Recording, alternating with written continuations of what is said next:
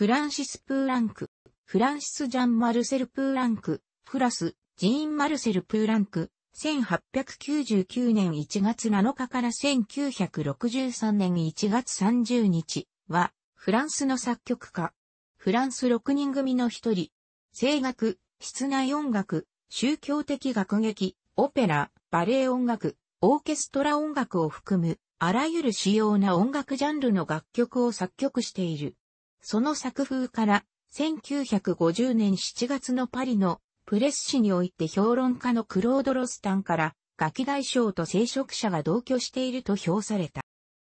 1899年にパリの裕福な家庭に生まれる。両親は敬虔なカトリック教徒であった。父エミールは、叔父のカミーユと共に、製薬会社プーラン社の創設者。5歳の頃から母親からピアノの手ほどきを受け、1914年15歳からはスペイン出身の名ピアニストリカルド・ビニエス、ドビュッシーやラベルのピアノ曲の初演を数多く手掛けたに、ピアを支持し、多大な影響を受ける。バレエリス、ロシアバレエ団による春の祭典、1913年、パラード、1917年、台本、ジャンコピトー、音楽、エリック・サティ、美術、パブロ・ピカソの初演を見て感嘆する。1917年頃ビニエスの紹介により、後のフランス6人組のメンバーであり、同い年のジョルジ・オーリツクや、パラードの作曲者サティ、ポール・デュカス、モーリス・ラベル、声楽家のジャーヌ・バトリといった音楽家と出会う。中でも、バトリとの出会いは重要で、プーランクは当時バトリの自宅に毎週のように集まる音楽家の一員となった。彼はそこでアンドレ・カプレやアルテュール・オネゲルとも出会う。当時、バトリは渡米したビューコロンビア劇場の支配人の代理として劇場の運営を任されており、1917年12月には同劇場でジェルメーヌ・タイユフェール、オーリツク、ルイデュレ、オネゲル、ダリウス・ミヨーの作品とともに、プーランクの黒人の教師曲の初演が行われた。プーランクは後に、これがその後の6人組の出発点となったと語っている。また、詩人ジャンコクトーラのサロンに出入りするようになった。当時18歳だったプーランクは、作曲を本格的に学習したいと考えたが、実業家であった父の反対により、パリ音楽院には進学せず、3年間の兵役に就いた。この間、1920年にコメディア史上に批評家のアンリコレが掲載した論文、ロシア5人組、フランス6人組、そしてエリック・サティによって6人組の名が広まった。除隊後の1921年から1924年にかけてダリウス・ミヨーの勧めもありシャルル・ケクランについて本格的に作曲を学ぶ。1922年にはミヨーなどと共にウィーンのアルママーラー宅を訪れ、そこでアルノルト・シェーンベルク、アントン・ベーベルン、アルバン・ベルクと会う。この年にはパリを訪れたバルトーク・ベーラとも会う。1923年にパリで行われたイーゴリ・ストラビンスキーの結婚初演の際の4人のピアニストの一人に予定されていたが、プーランクは病気となり、初演には関われなかったストラビンスキーとは1916年のパリの楽譜店で出会って、以来の友人であった。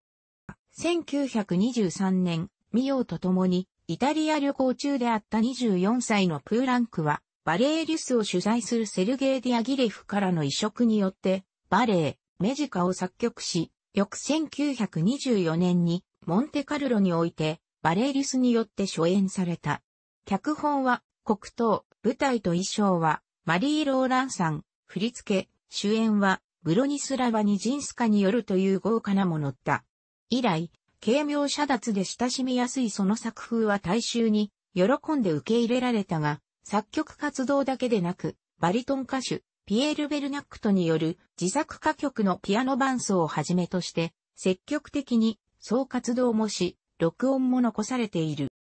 初のオペラ作品は1948年に初演され、第2作のカルメル派修道女の隊は、1957年1月、ミラノスカラザで世界初演、6月パリオペラ座で、フランス初演は、ドビュッシーのペレアスとメリザンド、ベルクのボゼックに続く作品と絶賛された。